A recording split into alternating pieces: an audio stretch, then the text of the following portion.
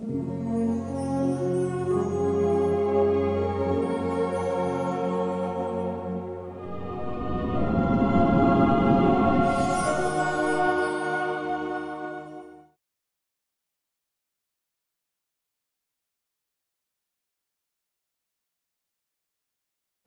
天呢，我们来讲第六章这个矛盾的时与子业啊。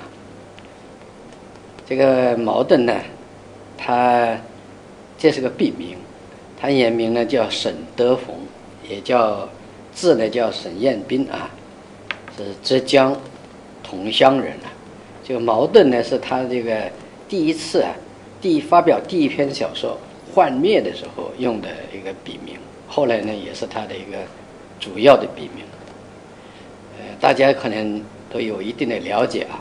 茅盾呢是现代中国最杰出的小说作家，也是最具典范性的现实主义作家。那么茅盾的贡献呢，应该说是多方面的啊，在文学的组织方面、文学批评方面、创作方面，啊，他都有所贡献。当然，最有标志性的。成就呢，是他的这个《子夜》等系列的长篇小说，还有呢，就是他对这个社会剖析小说这种唤醒的一种创造啊。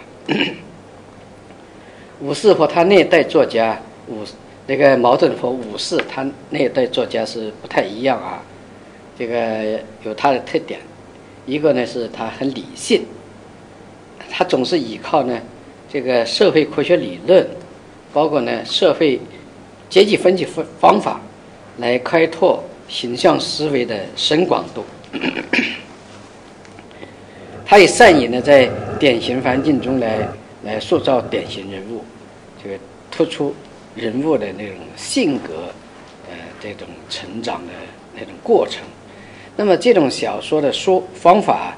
在上个世纪三十年代以后啊，成为了左翼文学的一个创作的主流，啊，甚至影响到当代文学。这是一个就是很理性啊，这样一个作家。第二个呢，就是茅盾呢，是一个有大气魄的作家。他写的作品呢，绝大部分都是重大题材，而且追求史诗的效果，所以他小说呢是具有一种。编年史的特点，所以编年史就按照时间顺序这样编下来，是吧？它能够容纳历史性的巨大的内容，所以结构也 非常宏伟，笔法呢比较写实，特别是心理描写很好。这个塑造的人物呢都是具有时代特色的，能够概括那种社会现象的，是吧？也能够提出重大的社会问题，所以有人呢就把。矛盾称之为社会科学家型小说家，社会科学家型小说家。那么茅盾这种一个理性啊，第二个社会科学家型的一种小说家的特点呢，跟茅盾的经历啊是有关系的。他是一九二七年开始创作小说，那么在这个之前呢，茅盾呢在理论上、生活上、在文学的修养上都做了。相当充充分的准备，就是说他出道是比较早的。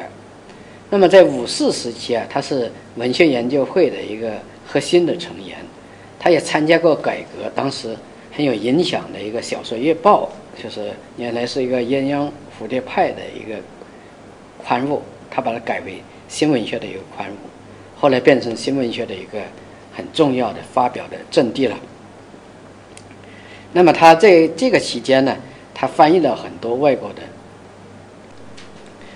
这个他积极参翻译介绍外国文学作品、理论思潮，是吧？呃，另外呢，他提出了这个为人生的文学，还有呢，就自然主义写作方法。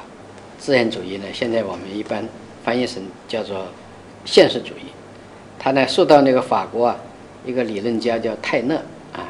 他那种思想的影响，包括关于文学的时代、环境、种族对创作的影响这三层因素啊，这个对他的影响很大。当然，茅盾呢最佩服的作家呢是大仲马和托尔斯泰，是吧？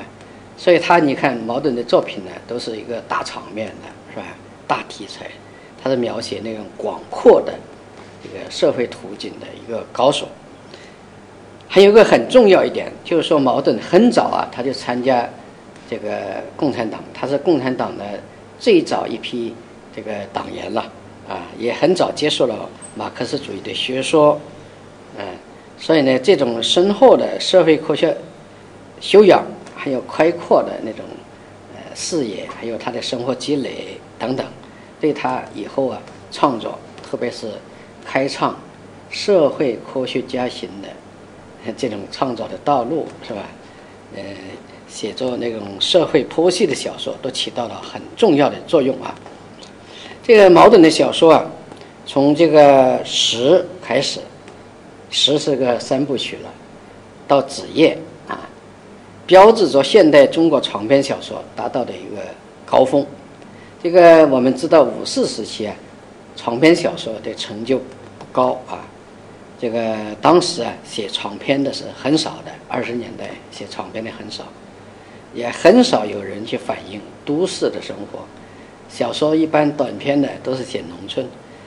那么三十年代呢，随着社会经济结构的变化，这个朝着。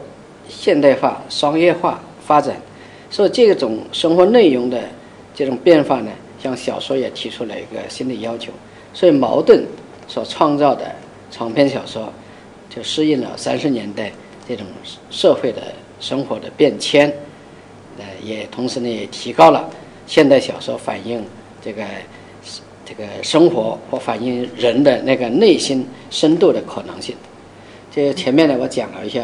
矛盾的创作的一些简单情况是吧？他的理性，他的史诗，史诗的追求，他的经历是吧？等等。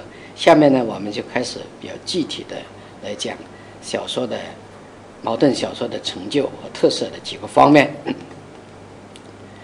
首先一个就是矛盾小说史诗性的追求，矛盾小说史诗性的追求。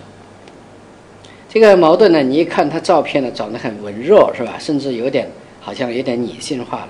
但他动起笔来写的小说呢，却能够呼风唤雨啊，是吧？它反映那个时代的全貌，那种历史的变迁是很有气魄的。这个矛盾总是把有大规模，他有个动机啊，他写小说总是有一个大规模的来反映描写。中国社会前景啊，不是一个侧面，是写前景这种愿望。所以茅盾这个作家写的几乎都是大题材。如果把矛盾的作品呢，按照他反映的时间，是吧？把先后排列一下，那么我们就看到了从晚清、五四一直到抗日战争时期，这一这个一路过来啊，大概有半个多世纪吧。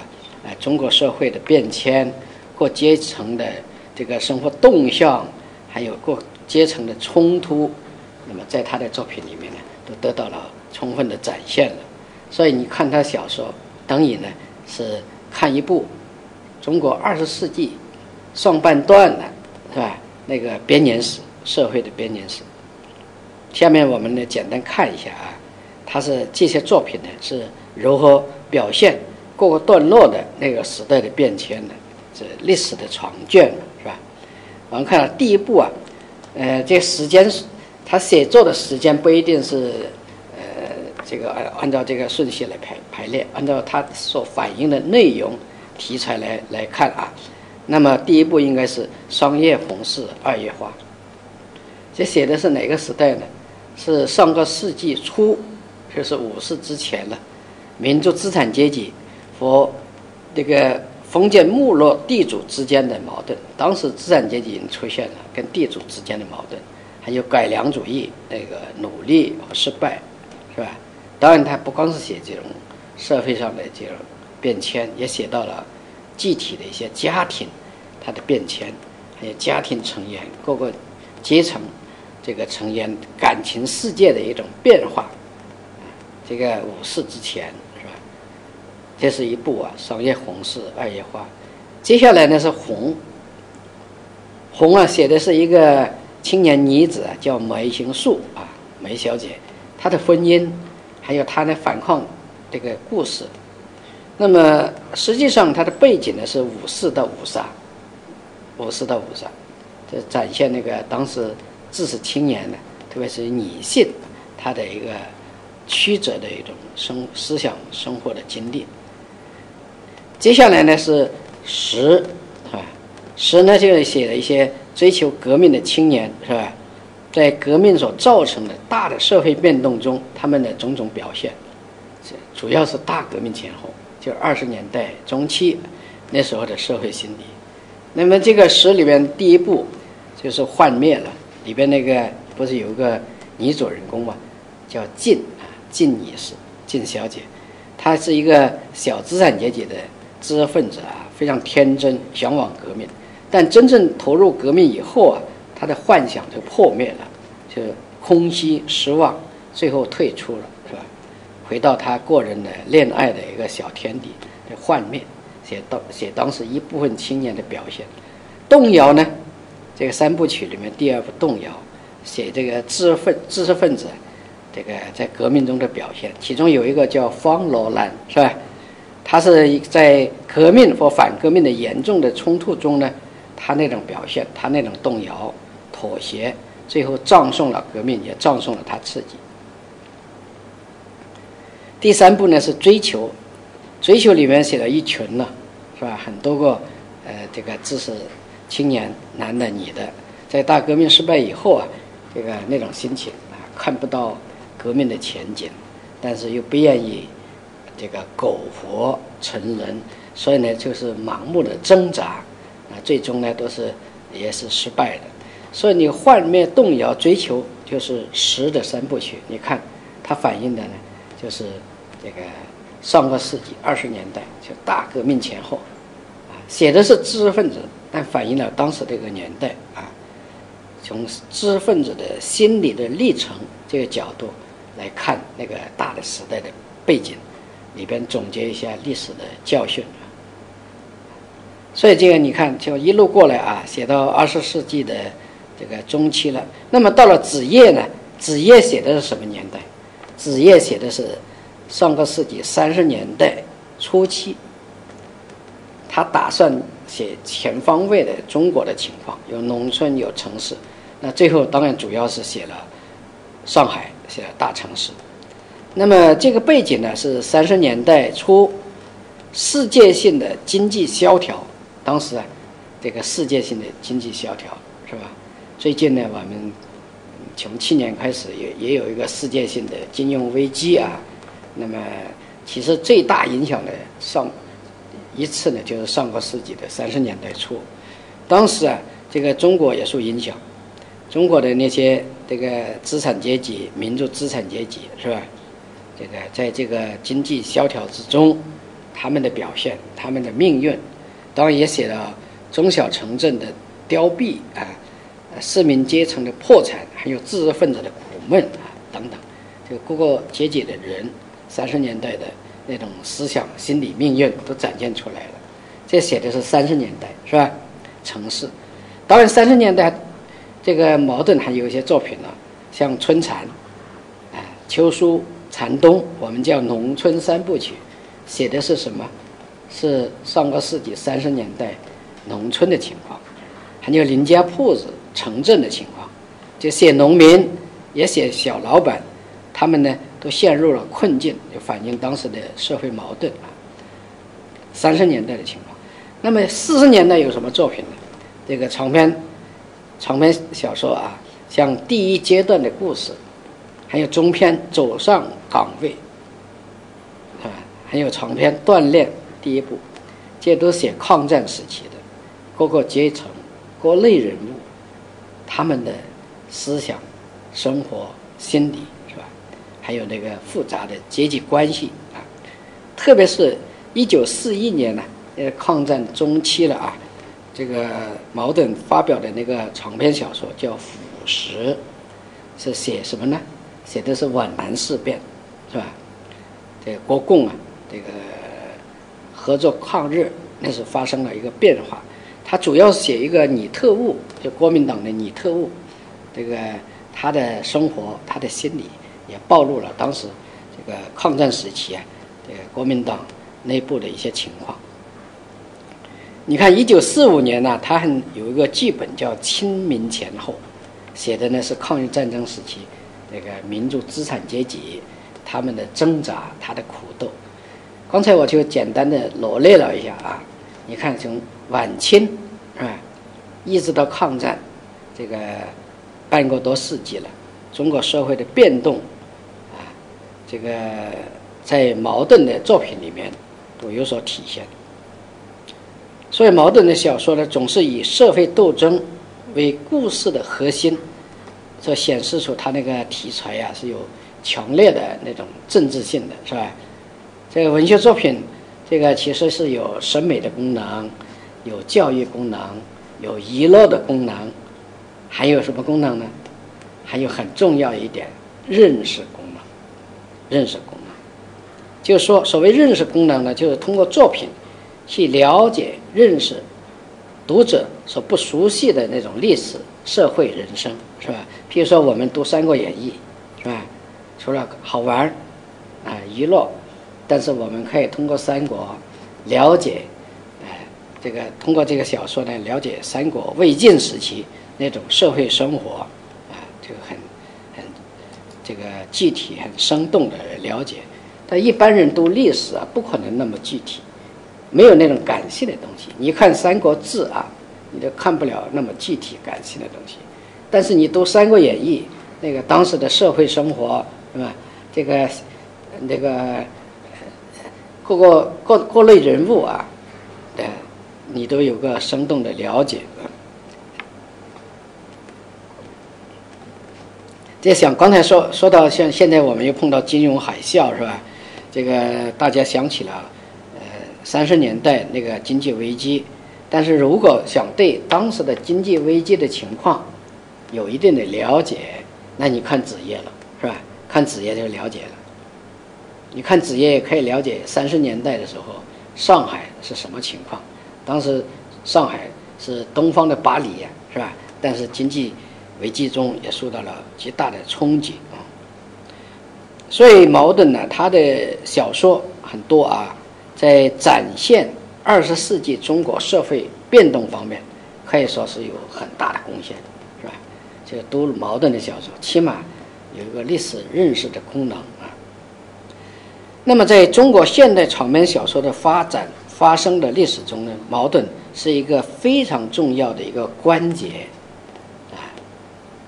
为什么这样说呢？因为五四时期啊，主要是短篇，是吧？很少人写写长篇，那么后来有些人写了，譬如说王统照写了《黄昏》，二三年的这个中篇；李杰仁写了《同情》，二四年的；杨振声写了《玉军》，二六年，这都是中篇或者是长篇啊。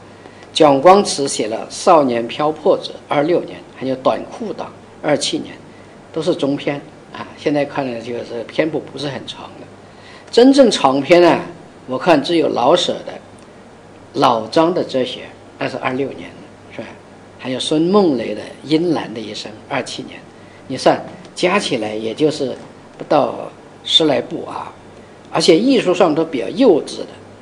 所以到了二七二八年，矛盾这个出蜀十三部曲，一下子写了这个十三部曲，三三部啊。接着呢，又写了多部的。长篇小说，就终于把这个现代长篇小说啊推推上一个高峰。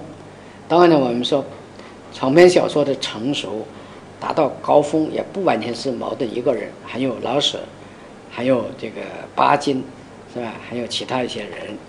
这是第一个问题，我们要了解的就是这个矛盾的小说啊，啊，它是一个呃反映社会的广度啊，是吧？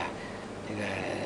历史的容量的这种史诗性的追求，这是第一个问题。